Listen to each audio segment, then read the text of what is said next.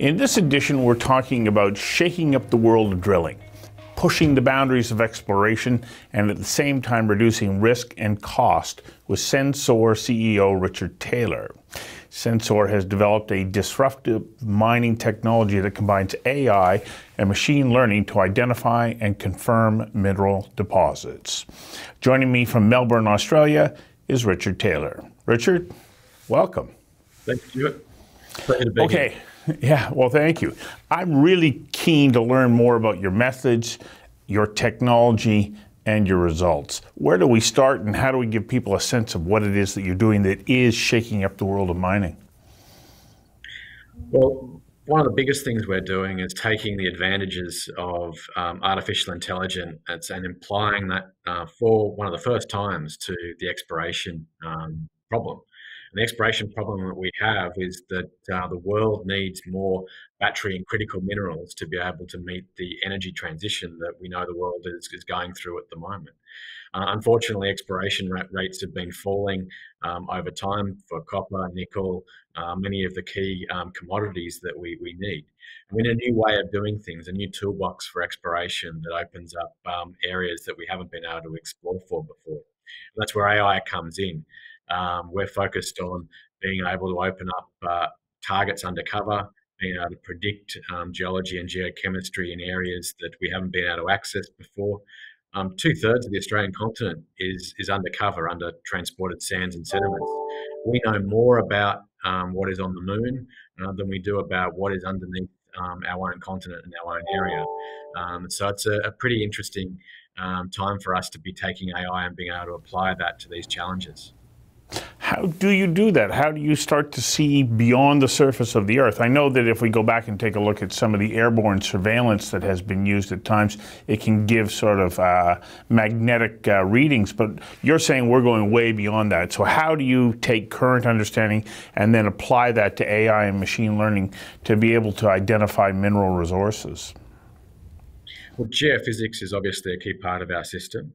Um, but we, I guess, we take the knowledge that we have from geology and we use aspects of artificial intelligence about natural language recognition.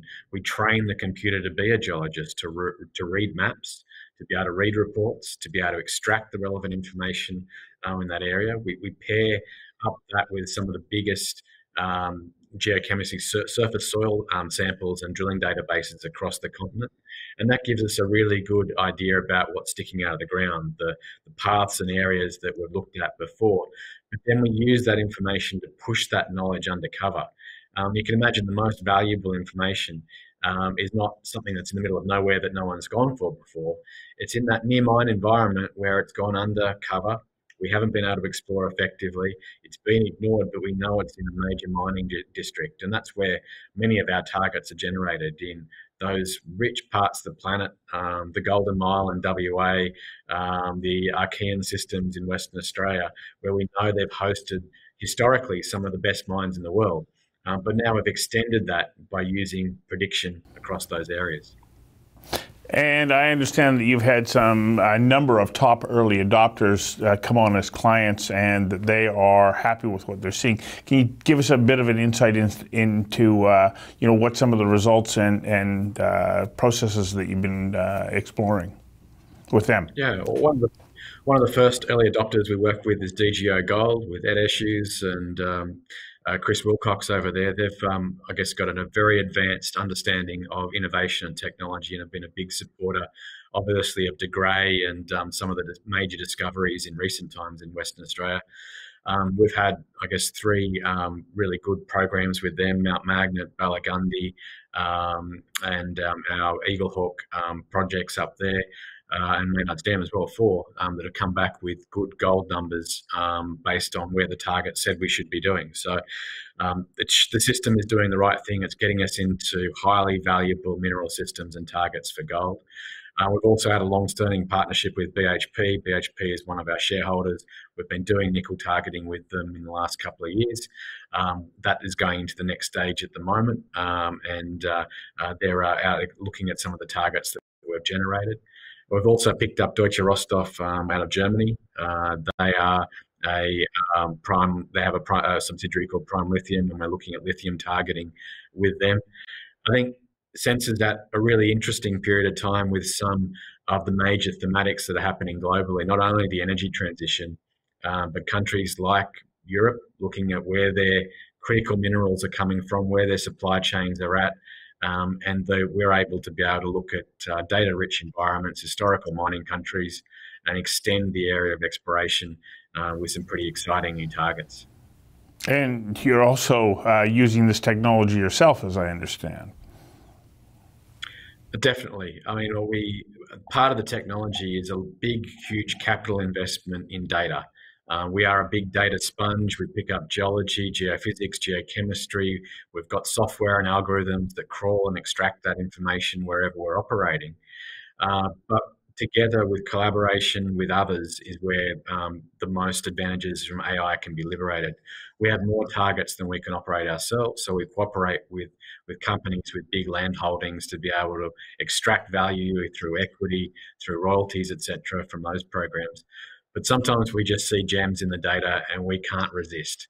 Um, we have to pick it up. We have to um, explore it. We have to put uh, our own drilling program on it. We have a, a big team of geologists who um, love to be able to get out on the rigs and be able to see what we're doing and be able to feed that technology back, the information we gather back into our system. After all, AI is about learning, right? It's a, an innovator. It, it's going to get better. Um, the technology we have today um, is but a fraction of what it will be in six months' time, two years, three years. Um, people think we're going to replace geologists. I don't think that's the case. Um, geologists of the future are just going to be people who are data science savvy, um, and there's going to be more jobs in Australia because we're opening up the field of play in areas and terrains that people haven't thought about before. And the word is out now. people know that this is what's happening, and it's having a positive impact on on your share price. Yeah, I've been listed for about six weeks. Um, I've been out talking to people. I was in the US um, last couple of weeks, uh, talking about the opportunities that are happening over there. Um, I think that the US is, uh, or North America is much more awake to this trend. Um, they can see what's happening in fintech, medtech, all of the other techs there. Mine tech is um, is the next place to go. Um, and we've been um, seeing a lot of appetite with what we're doing with our um, target generation, um, the deal flow that we've been putting together. Um, and there's a lot of excitement and buzz about um, uh, AI as a solution to the metals deficit, not only for Australia, but uh, for OECD countries, North America, and Europe. Well, uh, for viewers, uh, in the last minute or so that we have here, what's the number one thing that you want them to take away from this interview?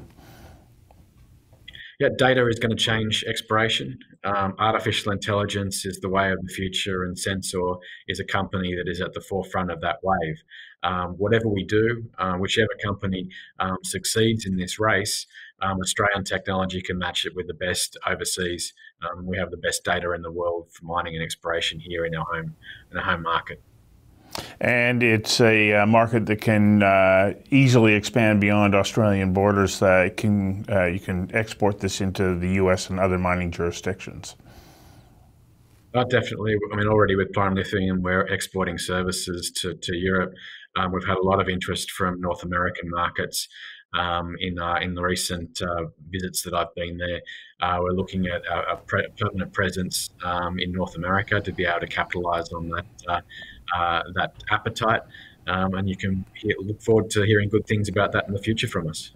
Well, thank you very much, and I hope that you will come back and give us more of that news in the future. Thank you for your time today. A pleasure, Stuart. Look forward to next time.